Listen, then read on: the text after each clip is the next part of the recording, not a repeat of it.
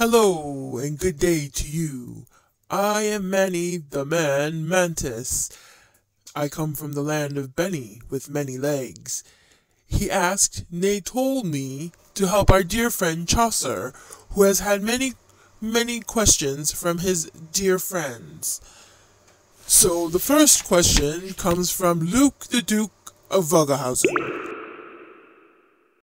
He writes, Dear Chaucer, my friend, how can I get my human to give me more treats? Luke the Duke of Vogelhausen.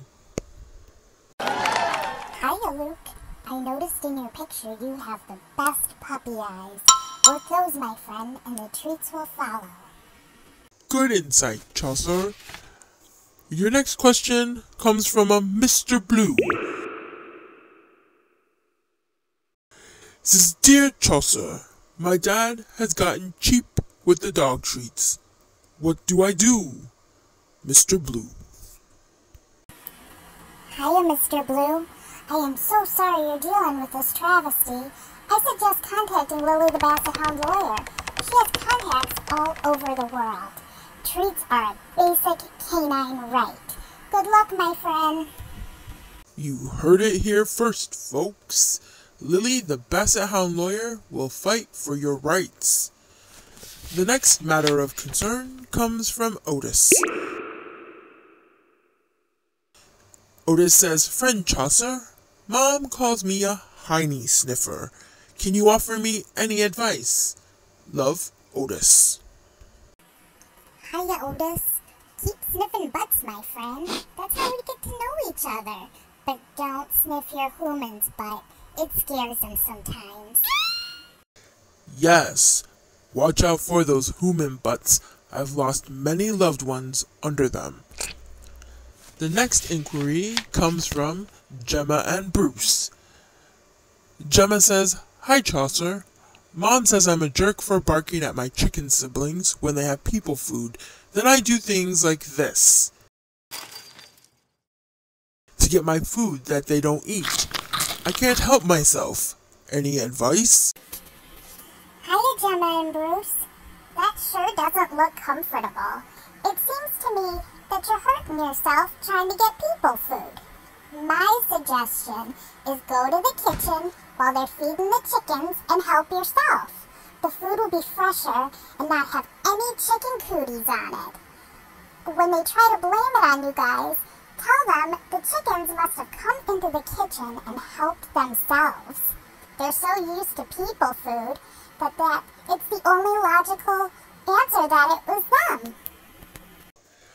That's very sound advice, young Chaucer. Next, Rufus and Bandit have a shared concern. They say, Hi Chaucer, Rufus and Bandit here. We have lots of froggy and toady friends that we like to play with, but Mummy won't let them come in the house to play with us. We don't know why. Do you? Hiya, Rufus and Bandit. My mama won't let me bring my froggy and toady friends into the house either.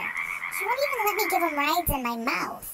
I've come to the conclusion that humans are V afraid of things much smaller than them. Don't give up, buddies. That's very true, Sir Chaucer. In the insect world, we compete to see who can scare the most humans in a lifetime. My great, great, great, great grandfather holds the record. He met his untimely demise under a human butt. Speaking of greats, next comes a question from Truman. His mama writes, How does Chaucer have a girlfriend as pretty as Charlotte without his parts? Truman does not have his parts either, and he lives with three girls, none of who will even give him the time of day. Hi, Truman. I am V sorry to hear about the three girls that don't want to hang out with you. Have your mama get you a Tinder. I'm pretty sure you'll have lots of ladies swiping right for you. Also, maybe you should get some of my Basset Drool cologne. It'll make you irresistible to the ladies. One more thing. Never forget to do your daily affirmations.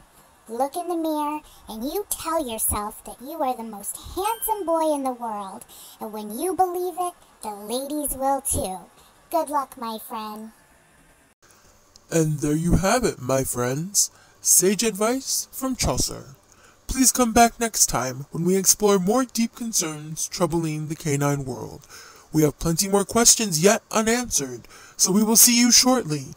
In the meantime, if you have a problem that is troubling you, please leave them in the comments below, along with your picture. I will be sure to pass them on to Sir Chaucer himself. Stay kind, my friends, and see you next time. This is Manny the Man Mantis, signing off. Ba